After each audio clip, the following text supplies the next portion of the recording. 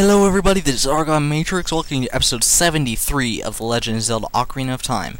And in the last episode, I ended off down there somewhere. Somewhere. Ha, you can't get me, you stupid Tektite. No. And now I'm up here somehow.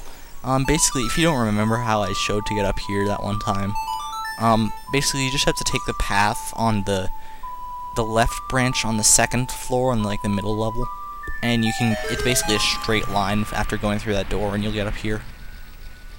So well it's not a straight line I mean it's just like a straight path. There's no like splitting paths or anything. One set path. Anyways now that we have raised the water to the high level the third level we can hook shot or long shot or whatever you want to call it over here. You could not reach that with the hook shot so don't even think about being able to sequence break like that Technically, you can sequence break. You can like get over here really soon, like if, but you have to like glitch it. Okay, this is your final obstacle, and it can be a doozy. But basically, you just want to walk up the whole thing. I think that's how you're supposed to do it. Yep, just look at that. You just walk up the side like that, and you should have pretty much no problems. Alright, and here is the boss door. So, let's get to it. Who's going to be the boss of this temple? I don't know there hasn't been like a legend about an evil water dragon or anything like Volvagia. Argon, look out, that water is normal over there. You mean right there? Yeah, it does look a little bit bluer than normal. Hmm. Well, let's just hop out into the middle here. What, what the hell?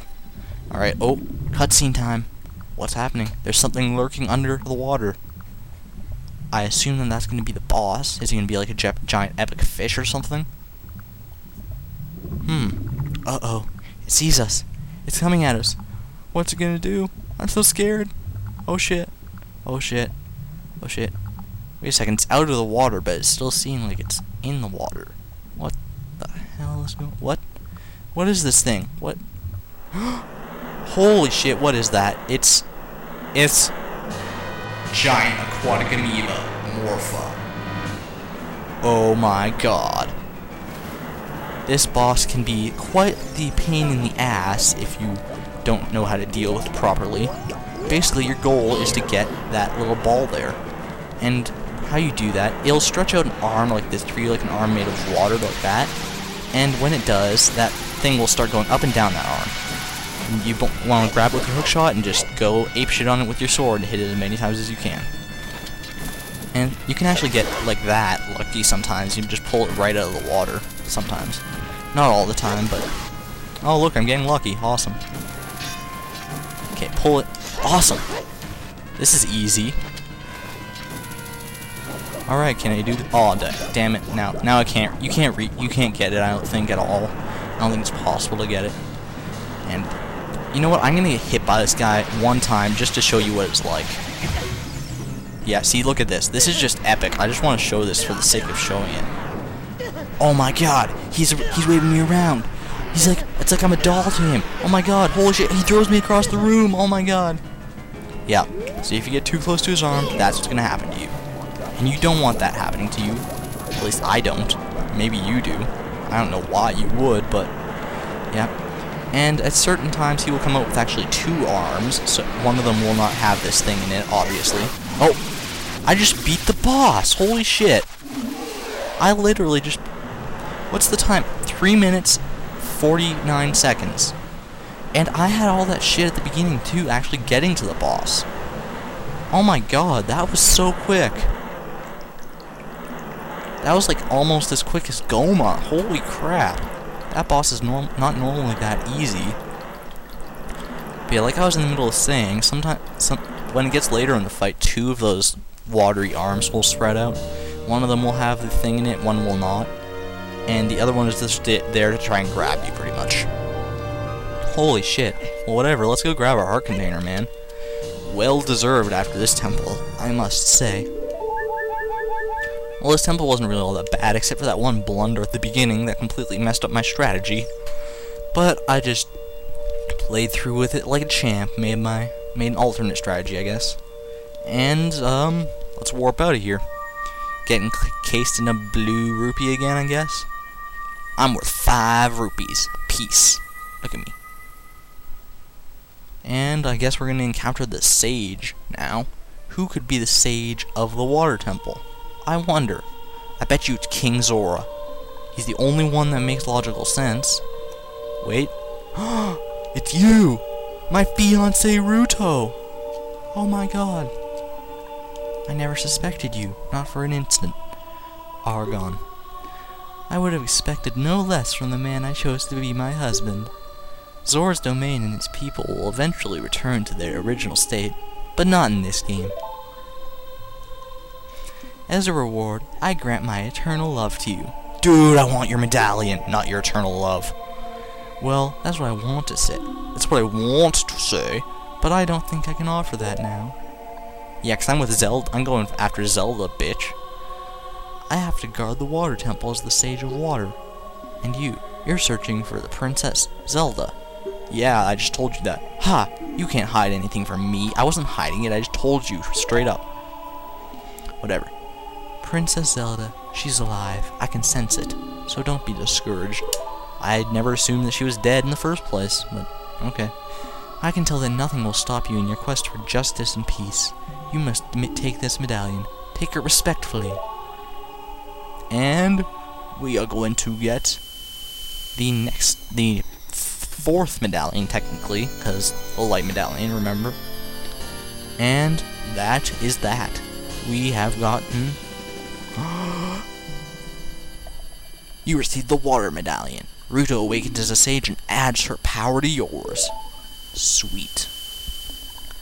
And if you see Sheik, please give him my thanks, okay? Yeah, sure. Well, technically I can't do that because I can't talk, because Link is a mute in every game except for when he was like, ha, ha, ha, when he's like rolling around and shit. What's gonna happen? Oh my god, the lake is filling back up with water. It's a Christmas miracle. As the water rises, the evil is vanishing from the lake.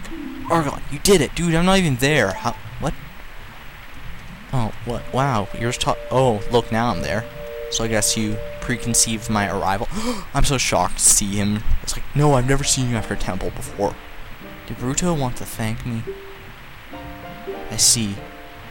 We have to return peace to Hyrule for her sake, too, don't we? Look at that, Argon.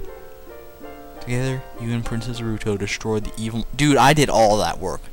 She didn't do shit except show me, like, one path I was supposed to take. Once again, the lake is filled with pure water. All is as it was here. Indeed it is. Looks just like it did when we were a kid. Oh, it's so... Oh god, it's lagging. I, it's it's actually lagging right now. Okay, the lag stopped. Dude, she's checking me out. Holy shit. He's like looking at me. It's like, oh my god, with that evil red eye of his. Oh, he disappeared. He was like checking out the back of my head. Did you see that shit? Whatever. And he's on top of the tree there now. I just saw him. And now he's diving into the water. Holy crap. Man, I still can't believe I did that boss that quickly. And we're actually encroaching the end of the episode here, but there's still a few things to do. First of which, first thing that, first things first, when right whenever you get out of the water temple, first thing you want to do, take out your bow and arrows, run over here onto this pedestal thing, and fire an arrow straight into the sun, just like that. And if you, if you read the plaque that's like in front of you or something, then it'll tell you that if you fire an arrow into the sun's, into the sunrise, then you will get this, a special little gift over there that we're gonna swim out to now, before the episode ends. And we'll probably be able to do one other thing that I want to do before the episode ends, hopefully. Alright, and we come out here, and we get a very, very handy little item here. This is, you got the fire arrow. Set it to C and your arrows will be powered up. If you hit your target, it will catch fire. Basically, yep, consumes magic power, and, um, it catches things on fire. Basically, exactly what the item description says. Okay, and now with the long shot, there's actually a Skulltula we can get here. I don't care about you, Navi. Um, but we're gonna need to be nighttime, obviously, because Skulltulas only come out at night. They're lurkers of the dark, deep abyss. They would only come out in the darkness. What do you want, Navi? Let's look for someone who might know something about the other sages. Yeah, we'll find out about that later on. Okay, so the Skulltula that we're looking for is actually on top of that tree. And I have to get it quickly here because there's only like a minute left in this video. But you want a hookshot to pretty much right there. so that you land on top of this branch, and there's that Skulltula right there. So just walk your way very carefully out to the end of this branch, like that, and you can get that Skulltula. You can't do that with the normal hook shot, because you can't get up here with the normal hook shot. But, there we go. So, um, I guess that's going to be it for this recording session. Uh, this has been the Water Temple recording session. Much less epic fail than I assumed that there would be. So, um, thank you everybody for watching. In the next episode, we'll do some more shit. We'll find out what we can do. So, thank you everybody for watching. This is Argon Matrix, signing out. Thank you, and good night.